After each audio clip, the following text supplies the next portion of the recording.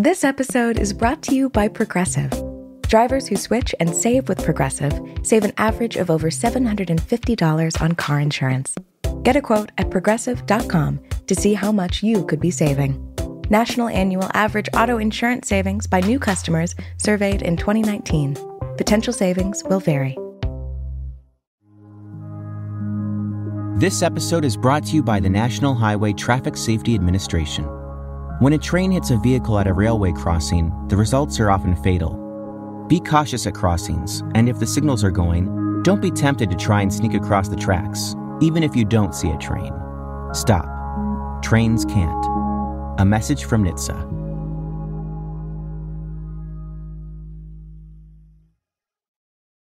Hey guys, just a warning before we get started.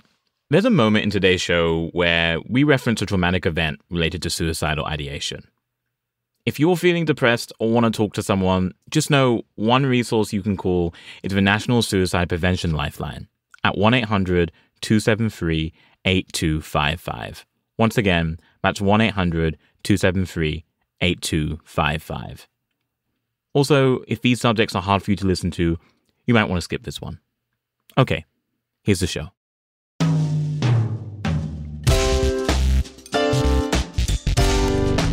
From Gimlet, this is Reply All. I'm Emmanuel Dzotsi. And I'm joined in the studio today uh, by the one and only Saidu Tejan Thomas. Uh, hey Saidu, how you doing? Good man, good, good. I'm I'm I'm getting by, chilling, you know. Getting by. Um, so Saidu uh, is one of my best friends, but he's also a fantastic producer here at Gimlet. Um, he's produced a lot of interesting shows like Conviction or Uncivil. But the reason that we're talking here today, right, Saidu, is because you're the host of a new show at Gimlet about the ongoing Black Lives Matter protests, and it's called Resistance. Yeah, so it's a show about people refusing to accept things as they are, right? Like that's the tagline for it. Mhm. But more specifically, it's a show about black and brown people fighting for some kind of change, right? Yeah. Before I started working on it, I never knew I would be working on something like this. Uh, I never saw myself working on something like this. I just want to Uh-huh. say that, and I say this with love because I'm your friend, and I will totally explain what I mean by this. But like, I did not see you working on this show. I, I have to say, and and the reason the reason I say that is Oh, man. because this, of course, is a show about the protest movement. Uh huh. And I don't know, dude. I'm just thinking back to like, like when the George Floyd protest like first began, right? Do you remember that weekend? Uh-huh. Because I remember I tried to talk to you about what was going on, and you wanted absolutely no part of it. Like, you did not want to talk about the protest movement at all. Yeah. I was like, actually, I'm kind of depressed right now with everything that was happening in the world, like with black people getting killed. I just felt like I needed to make like a conscious decision to disengage and take some time for myself and like just not touch any of this shit because it's like it's too much. Yeah, you basically just stopped like looking at anything. Yeah, I had deleted Twitter off my phone, um, and I wasn't watching anything. I wasn't really reading anything. Which you know, like that made sense to me because you know you were protecting yourself, Mhm. but. I also just remember thinking it was going to be like futile because like, we were talking about what work was going to be like that week. And I just remember realizing, oh my God, there's about to be a meeting tomorrow our majority white workplace in which we're to have to like have ideas for stories and also at the same time probably have to like attend meetings and talk about everything that's been going on like with all of our colleagues. And i just remember i was just like uh, that is not something i want to do yeah, I was also dreading that. I wasn't even dreading that meeting. I was just like, that meeting is gonna be stupid. Yeah, which is why I feel like the next time we talked after that, I was like kind of surprised because you called me and were like, hey, so I'm going to start a show that is essentially going to be about the protest movement every week. and I was like, why? How did you go from from from uh, Emmanuel? I'm not going to talk about this at all, really, to, to that. yeah, I mean, after a while, I re-downloaded Twitter, and I remember just seeing like these headlines about uh, some of the largest protests in the country were being led by like teenage girls or like people in their early 20s. And that was interesting to me. That was super interesting to me because that was around the age when I protested Oh, for, yeah. for the first time ever in my life. Like I, I feel like I see myself a little bit in this. Like let's I kind of want to see what's going on over here. Yeah. Let me just say, I feel like what's so special about Resistance is like we get to see you make this transition, like from not wanting to talk about any of this to being so inside of this movement in an incredibly intimate way. Mm-hmm. Like, yeah, you you're with people when they're protesting, but you're also with them like long after the cameras have left. You're in their homes, you're in their favorite bars, you're chronicling people making all of these life changing decisions, feeling all of these conflicting emotions of, of joy, of triumph, and frustration. You know, you're chronicling people basically as they try to meet the magnitude of this moment with every fiber of their being. Yeah. And it's, I don't know, it's it's really special. Um, and so today on Reply All, we're going to feature one of these stories. Uh, it's one that's really stuck with me since I first heard it. Uh, Saidu, do you want to take it from here? I got you. So this year I've been following this activist collective, Warriors in the Garden. They're mostly black and brown folks in their 20s who got together during the George Floyd protest this summer. And since then, they've been grinding in New York City. For the past five months, you couldn't really go to a protest without seeing a warrior. And that's because at one point they were marching every single day. And I had to be real with myself. There was no way I was going to keep up. After their events, I'm always so physically and emotionally drained that I usually just fall asleep on the ride home. And it always takes me a couple days to get myself back together again. But before I can even fully recover, I see a post for another protest against police brutality, another vigil honoring black women, another plan to keep the streets full and the people fighting. The warriors like to say, We've been out here. And that's a fact. But I always wonder how are they doing this? How have they been able to keep going so hard all summer? So I was talking to one of the warriors about this. His name's Derek Ingram. Sometimes he goes by D-Rec. And his answer was simple. When shit gets to be a little too much, they drink. In Lower East Side, there's this spot that has like $5 margaritas, but they over pour. Derek says on their nights off, they like to get together, find a nice little bar, and just kick it with a few drinks. And he's telling me about this one night in August when they had endless cheap tequila. I had like a couple shots and I had like two or three of those and I was slammed. Slammed, had it fun. Like we were just like hanging out outside, like we were having a, a blast.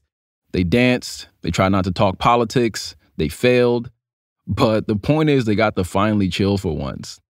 Derek told me that he drank so much that night that when he got home, he tried to cook a whole steak at three in the morning, which who can't relate?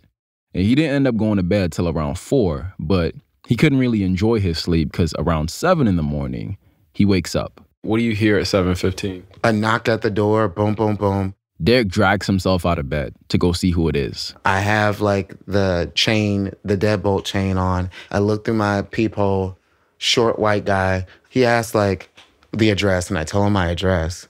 And then he asked my name, and I told him my name. And he was like, I have a warrant for your arrest.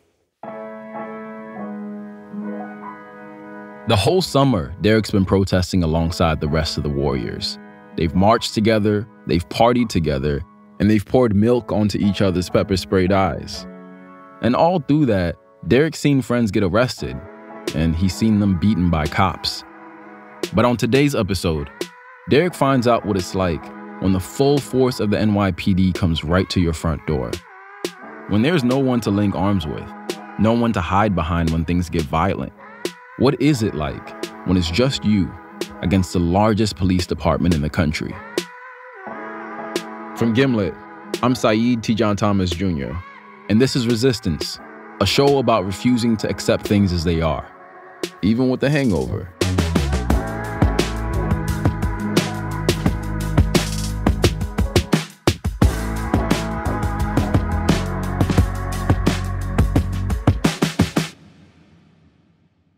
So it's 7 a.m., and there's a cop at Derek's door. And he was like, I have a warrant for your arrest. And I was like, okay, slide it under the door. Derek looks down at the floor for the warrant, but he doesn't see anything. The cop just keeps saying he's there to arrest him. I was hungover, I was fed up, and I'm like, I am not I'm not dealing with this right now. Maybe they'll just go away. So I went back in bed, called Kiara. I was the first person he actually called. That's Kiara Williams, another member of Warriors in the Garden. She was out with Derek the night before. To have a hangover and deal with what the situation was was like, are you dead ass right now? I told Derek, in that moment, tell everyone in the group right now because this is serious. I woke up because my phone was going off. Buzz, buzz, buzz, buzz, buzz. I hear bing, bing, bing, bing, bing, bing, bing, bing, bing. I was like, wait, what's happening? They were at his crib. You know, when you hear about the police showing up at a black person's door, you know, you think you're they're there to kill. Some of the warriors start checking their own windows, and they start looking through peepholes to see if the cops are at their houses too. I was scared for him. I was scared for myself. Are they coming to my house next? Like, are they gonna knock at my door? Like, how is this gonna end? When the rest of the warriors don't see cops at their doors, they start strategizing about how to help Derek. Some of them want to head to his apartment ASAP, but others say, nah, what if the cops are expecting us to do that, and once we show up, they just arrest everybody? Then Chi, from the last episode, comes up with another idea. Chi instantly was like, go live, go live, go live, go live. Everybody said, go live. Document that shit. I mean, if they're banging on your door lying about a warrant, people need to see it. Derek agrees. So he logs into the Warriors Instagram account, which has a following of over 40,000 people, and he goes live. He's sitting down in his living room, right next to his front door, and he's wearing the same clothes he wore the night before a leather baseball cap, a navy blue button down, and a silver ring that shines whenever he touches his face, trying to figure out what to do. I don't know what the fuck is going on. I like, I like honestly, I have no idea what I did. So, like, this is crazy. He gets on live, and you know, you could just see the stress and panic on his face. What did it look like? Uh, fear. I live by myself. This is scary. Like, Time to start your day. that's Alexa, sorry. Good morning. August is National Peach Month. That's Alexa. The saying, you're a real peach, comes from the tradition of giving a peach to someone you like. Try it out with a friend. It's sure Shut to up, them Alexa. warm and fuzzies. Alexa. Thank you. Fuck. Derek's Alexa still thinks it's a normal Friday. And besides the cop at his door, it could have been a normal Friday. His plan was to sleep in, then spend the rest of the day cleaning his apartment. I was so mad that like I had I was on fucking live, felt like my apartment was dirty. Like I had a, a sink full of dishes. I smelled like fucking tequila. It's taken Derek a minute to realize that the things that would normally matter on a Friday morning after a night of drinking don't really mean shit right now. But the people watching on live already get that. They're not worried about his dirty dishes. They're worried about the cop at his door. In the comments, his friends tell him to go back to the door and ask for the warrant. Officer, Yes, sir. what's going on? Did you have the warrant? There's probable cause to arrest you right now and while they were What's the probable cause, sir? That was developed by a detective from Midtown North. That's part of his investigation. He said, "Oh, I don't have a warrant, but I have probable cause." And I was like, "Damn it, here we go." Is there a reason they haven't called me about this in- investigation? Is it active? Uh, it's active, yes. So ha- For assault. The cop says yes, it's active. It's for an assault. But Derek has no idea what he's talking about. Okay. That's why I'm here. To detain me? You would be arrested, yes. How am I arrested if it's an ongoing investigation and I haven't been charged? Well, to get charged, you have to be arrested. Okay.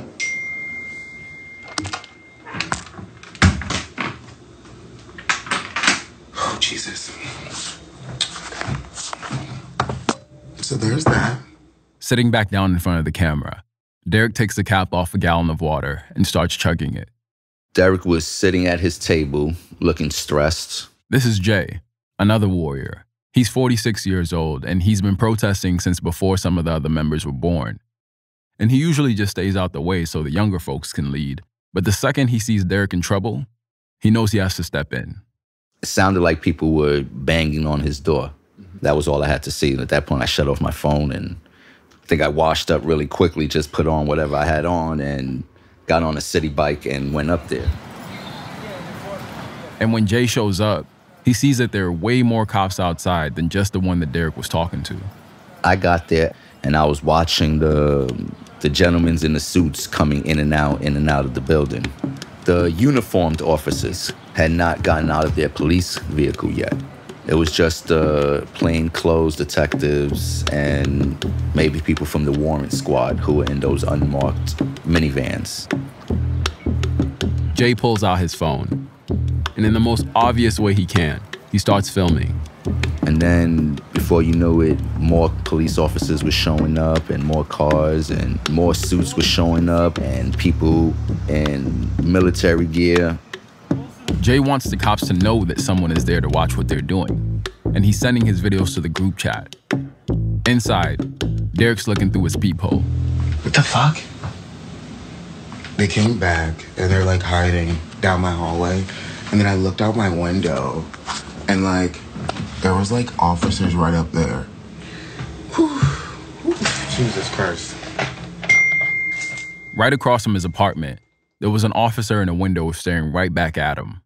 They were surrounding him. Literally, they had a black officer at my uh, fire escape. Like, bro, I'm black, you black, come on. Like, I'll make sure nothing happens to you. And I'm like, yeah, type shit. And then at another point, he came back and was like, come on, D, come on. I gotta pee, let me in. What? He was like, come on, man. He was calling you D. Yeah, like we had some kind of like rapport. Like he was trying to build rapport. And how were you reacting to that? Not at all. I wasn't. I had too much going on. I couldn't even process their like intimidation tactics. Wow. And I thought the black thing was kind of funny. I was like, "Are you? You really think I'm that dumb that I'm? Gonna, come on, come piss, yeah, We're homies. yeah. Like I got you." At this point, Derek realizes that his parents don't even know what's going on. So he calls his dad. I FaceTime my dad because he doesn't know how to use IG. Mm-hmm. His first reaction was call the cops. I was like, "Are you serious right now?" I was like, "You want me to call the police on the police? What are they gonna do?" Like he was dead ass. He was like, "No, like bring a captain out." I was like, "Nah, that's not gonna work, man." Oh man, that's that's really interesting because like My parents are.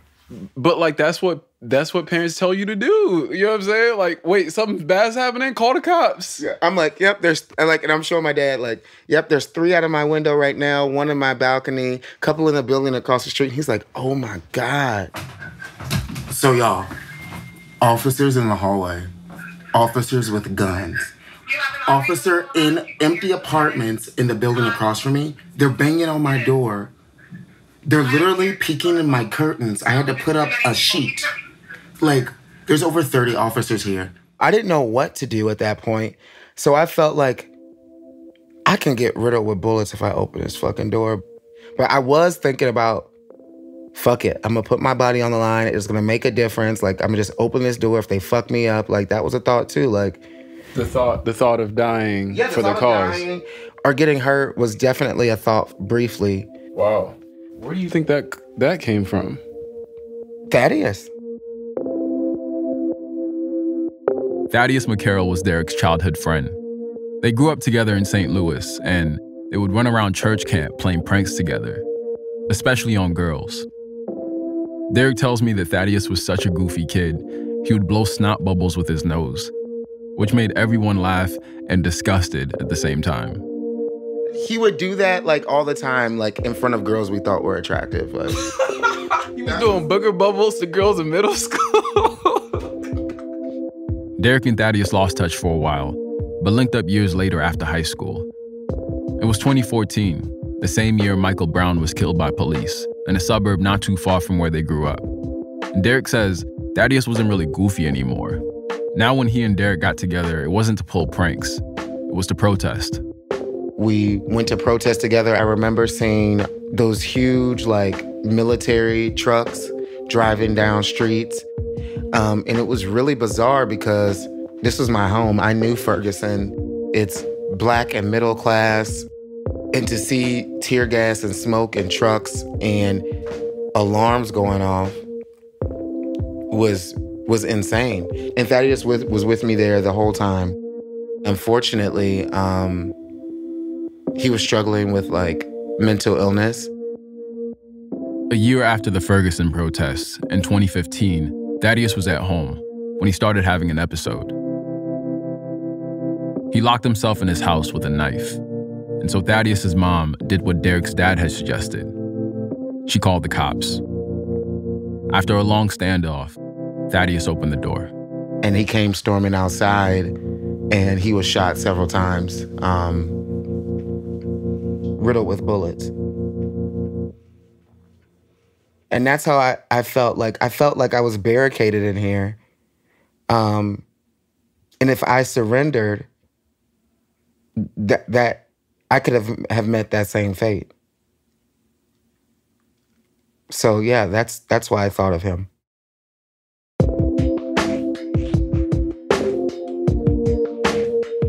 Coming up after the break, a plan to save Derek.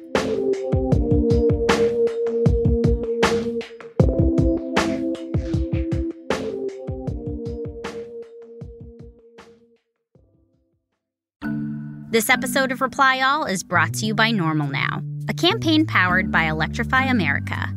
Some people think electric cars are weird, but lots of things seem weird at first, like social media, ride sharing, and flash mobs. And of course, we can't forget about podcasts.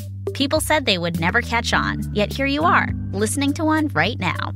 Electric cars are normal now too. With longer ranges, you can take them almost anywhere you want to go, beyond your daily errands. And now there are more charging stations and faster charging times, so it's easy to charge along the way when you need to. Lots of affordable models and less routine maintenance means electric cars could actually help you save money. That doesn't sound weird. That sounds nice. Electric cars, they're normal now. Learn more at normalnow.com. This episode is brought to you by Progressive. Progressive has you covered when it comes to car insurance, starting with built in savings, like discounts for being a safe driver. You can also save when you start your quote online or have multiple vehicles on your policy. In fact, drivers who switch and save with Progressive save over $750 on average. Start a quote online and see all the discounts for yourself. Visit progressive.com today. National annual average auto insurance savings by new customers surveyed in 2019. Potential savings will vary. Discounts vary and are not available in all states and situations.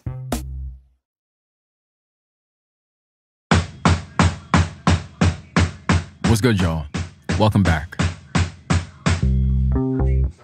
It's been roughly four hours since a police officer showed up at Derek's door claiming he had a warrant for his arrest. And since then, they still haven't shown him a warrant. They've just been knocking and trying to make him come out so they can arrest him. And a pretty scary scene has started to form outside his apartment building. Patrol cars and vans have pulled up. A chopper is hovering overhead. And there's around 30 officers surrounding Derek's building in Hell's Kitchen. The lawyer's calling me. Speaking. Inside, Derek's on the phone with a lawyer. She tells him that since the police don't have a warrant, he can ask them to leave. So he goes back to the door.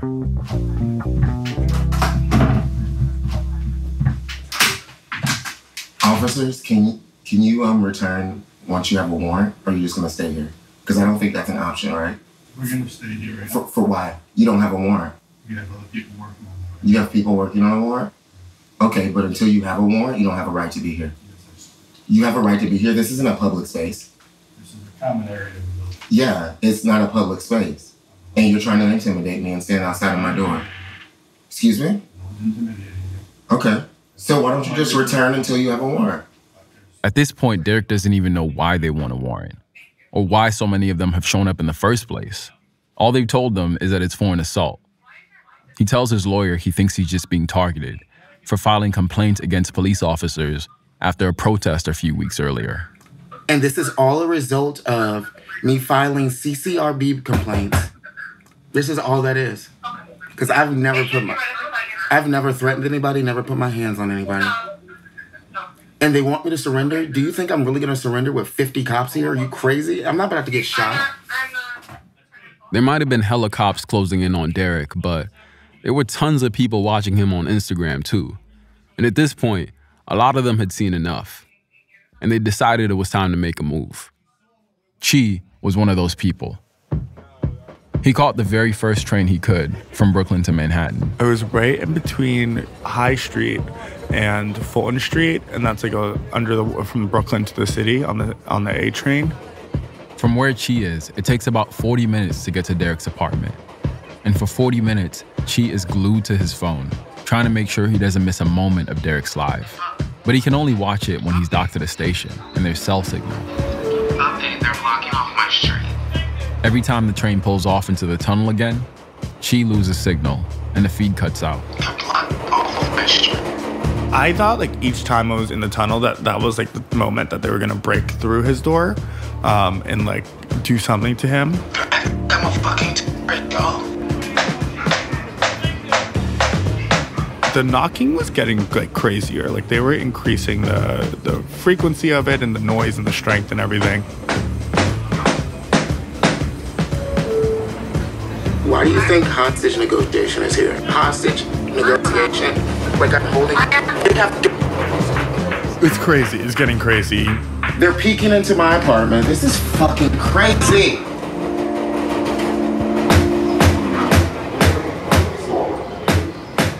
I got off this, the train and was running.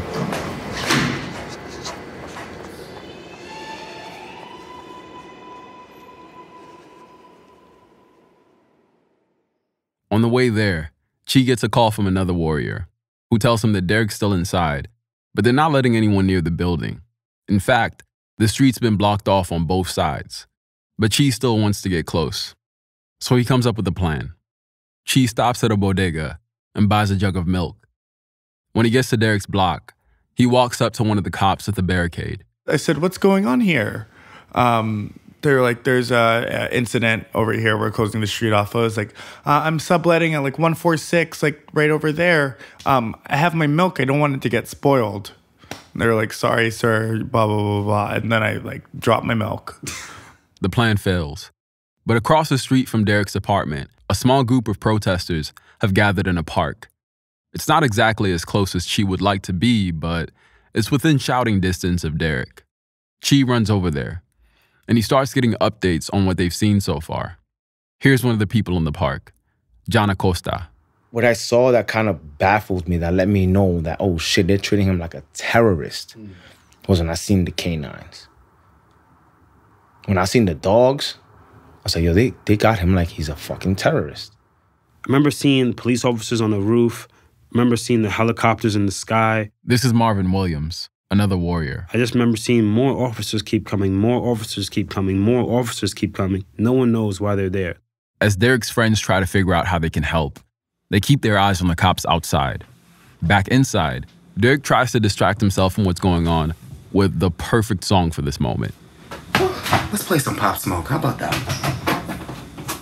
Pop Smoke sound good.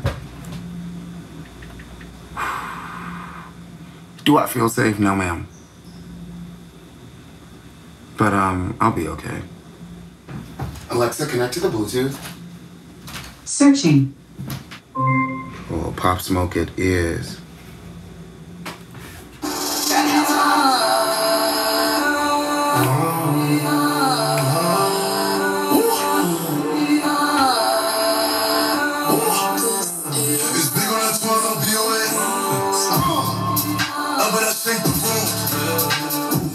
Derek hits a little shimmy in his chair.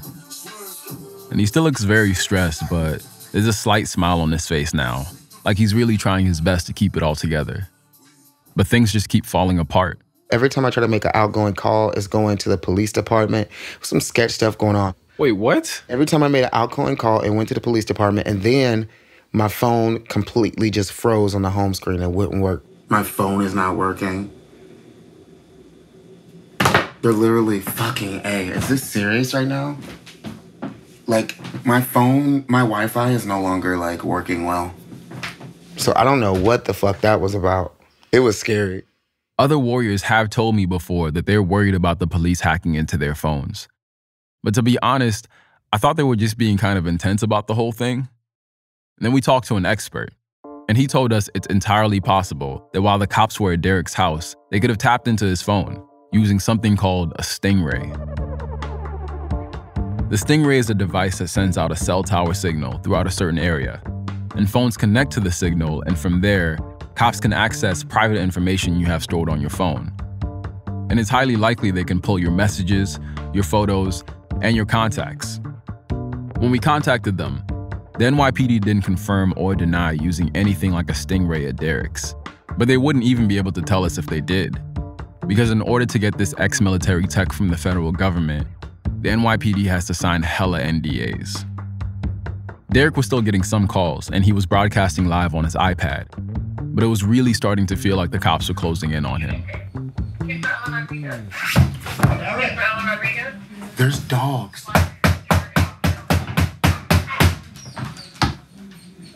Hey, Derek, how, how you doing right now? Um, there's dogs. Look out the people, please. There's dogs. I hear dogs barking. They literally cover my peephole. They had a battering ram, so all of this stuff on my wall is falling. I hear the pop, pop, pop.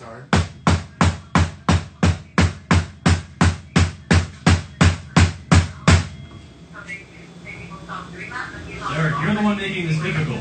We're just trying to get you to come outside. Derek, do you understand what I'm saying? Bro, this no is. hostility. You're the one being hostile right now. I'm not being hostile. I'm calm. I'm calm. I'm very calm, y'all. I am not being hostile. He called me hostile. I am calm. I am chill. I'm Sorry, I think I lost you. Um, hey, Derek. There's no one. I got people. Hello, can you? Like they were reading shit off my social media, and it was like trying to make me emotional. Derek says the cops started bringing up his grandma, the woman who would cook him plantains and collard greens for his birthday, who would show up to surprise him at school to make him feel special. The woman who always told him she'd see him in the morning if it's God's will. She passed away a few years ago. Her name was Dolores. And they were like, what would Dolores think? And then at another point, um, and this was caught on camera, they were like, Why don't you be the warrior you say you are and come out and let's face the, the situation? why don't you be the warrior you say you are?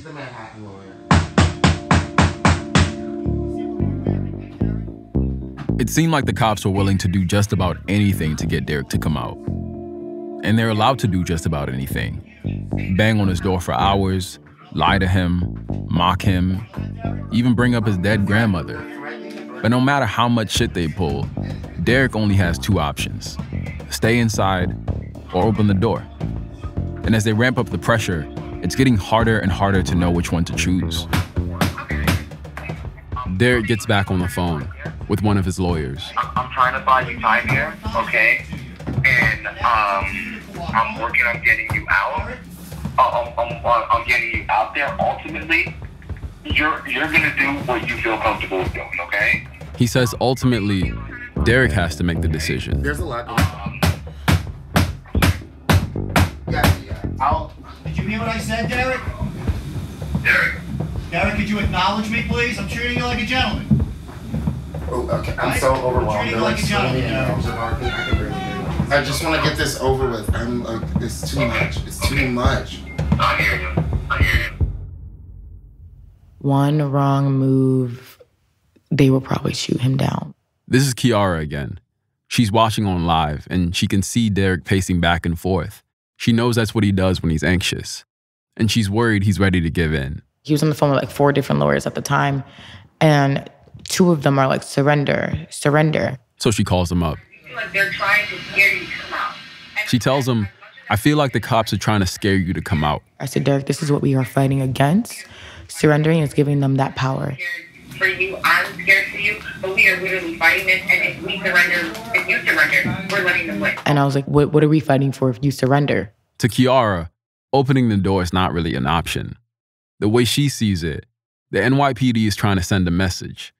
The fact that the cops showed up at one of their doors at 7 in the morning in full force without a warrant, it's not just about scaring Derek.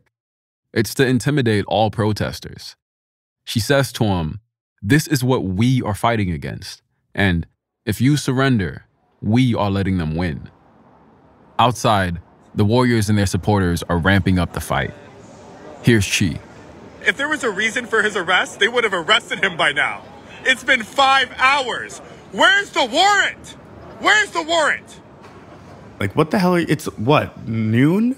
You've been here since seven. You're saying you have a warrant and you're not in his apartment yet. There's something deeply wrong with that.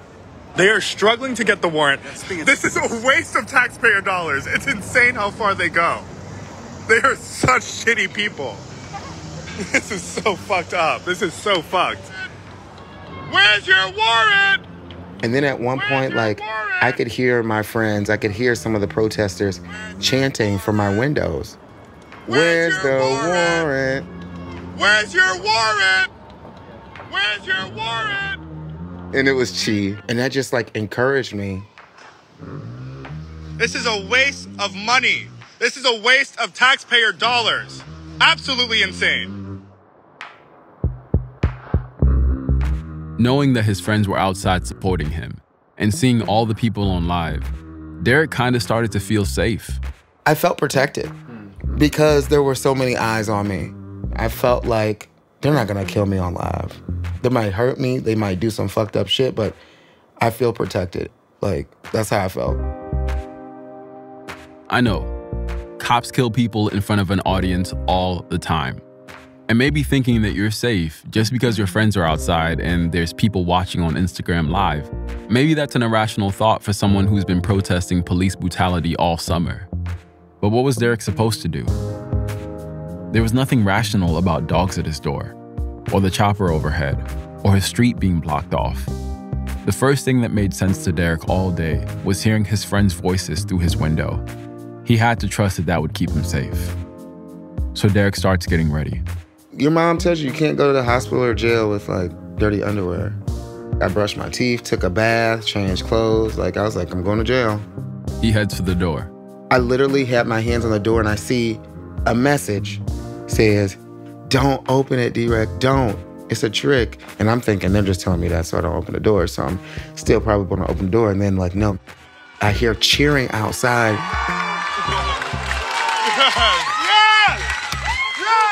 I was like, oh shit, like they are leaving, so I didn't open the door. And you see all these hearts going up on the live, and then I hear boom, boom, boom. I'm like, oh my God, hello? It's John Dirk, let me the fuck in, bro. And I'm like, oh, I don't know if they like fucking holding John hostage trying to manipulate me and they recorded his voice. I, I ran I ran right up. I ran up to see Derek. I was make sure he was good. I was happy as fuck. John came sweating, screaming. He asked if I needed anything, and at the time I was in shock. He was, he was still a little worried because it was there was still a motherfucker in the, in the window just watching like.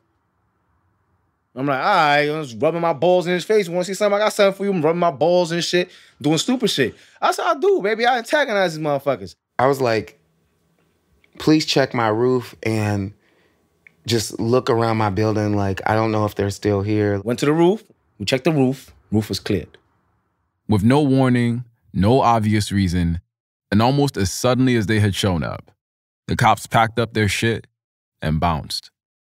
Just like that, after more than five hours.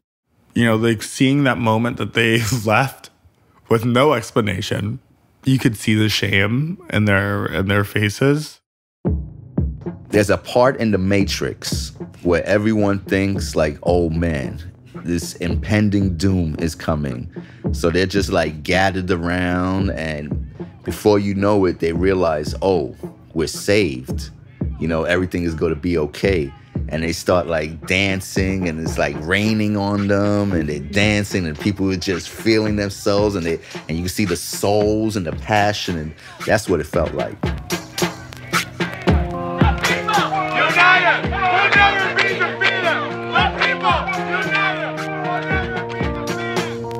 I have not seen that Matrix movie Jay is talking about. It's got to be one of the sequels. But I understand what he's getting at. The people on the live and the people on the streets, they needed this win. It had been over two months of protesting in New York. And the last time they had a major victory was all the way back in June, at the height of the protests, when Governor Andrew Cuomo repealed 50A, making police disciplinary records open to the public for the first time in nearly 40 years. But since then, protesters haven't really gotten much else. They were hoping for a billion dollar cut to the NYPD's budget, but it didn't really happen in the way they wanted it to.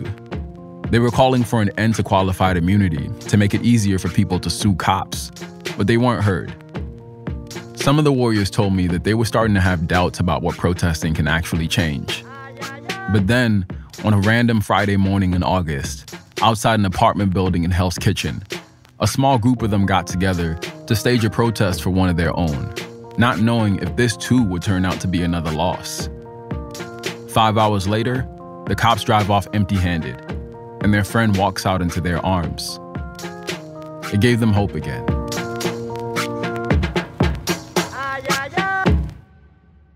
I don't think anybody expects chanting to solve anything immediately. But in this moment, it it actually did, right? Like it actually had a direct immediate result that you saw right there and that must have felt like really satisfying. Mm-hmm. Yeah, it was really satisfying. In a summer of L's and pain and violence, it was a win. You know what I mean? And you don't get a lot of wins. We still don't know why they had to fight this fight in the first place and why the NYPD went all out for this one guy. They won't tell us why. But Derek and his lawyer decided the best thing he could do was just turn himself in. They figured it would be safer. That way, they wouldn't have to worry about if or when the cops might turn up again and what would happen if they did. So the next day, he went with his lawyer to the precinct. Derek was charged with assault of a police officer for allegedly shouting into a cop's ear with a megaphone at a protest. They also charged him with obstructing governmental administration, which basically means getting in the way of a cop doing their job. At first, he was facing up to seven years in prison, but at a recent hearing, one of the charges was downgraded. The prosecutor did leave the door open, though, to bumping the charges back up again. Derek's lawyer thinks it's just more intimidation tactics to keep him from protesting. But because of everything that happened, Derek has even more support than before from Black Lives Matter and Amnesty International, and a whole bunch of celebrities who saw him on live. It seems like what happened was like they tried to intimidate you and and it didn't work. What what it actually did was make you even more entrenched in the movement and made They you a bigger us leverage to literally bring attention to what they did, which was abusing power, misappropriating funds, and intimidating unarmed black people. That's literally that's what this whole movement is about.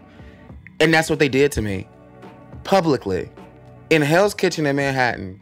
It made them look savage.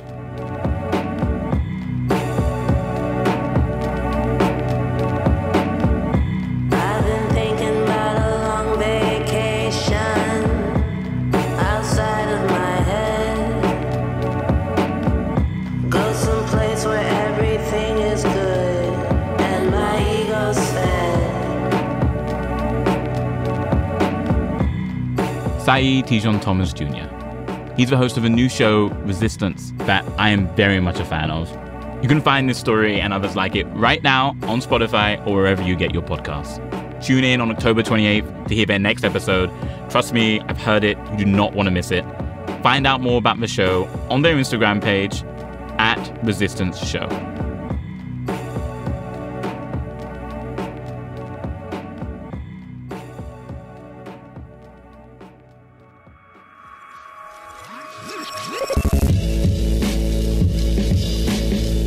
Reply All is hosted by PJ Vogt, Alex Goldman, and me, Emmanuel Dzotsi. Our show is produced by Sruthi Pinnamaneni, Phia Bennin, Damiano Marchetti, Anna Foley, Jessica Young, and Elisa Wang. Our intern is Mohini Madgavkar. Our executive producer is Tim Howard. We're mixed by Rick Kwan. Theme song and original music by the mysterious Breakmaster Cylinder. The story you heard today was produced by Bethel Habte, Wallace Mack, Aaron Randall, Kimmy Regler, Sandra Riano, and Sarah McVie. It was edited by Lynn Levy, Lydia Polgreen, and Brendan Klinkenberg, with mixing, scoring, theme, and magic by Bobby Lord and Catherine Anderson. Original compositions by Drea the Vibe Dealer. Fact checking is by Michelle Harris. Special thanks today to Adam Bates, Paul Spring, Livia Rose Johnson, and Joseph Cochran. Resistance's show art is by Darian Burks of the Stuyvesants. Matt Lieber is the happiness you feel when someone you know makes the big time. Thanks for listening. We'll see you next week.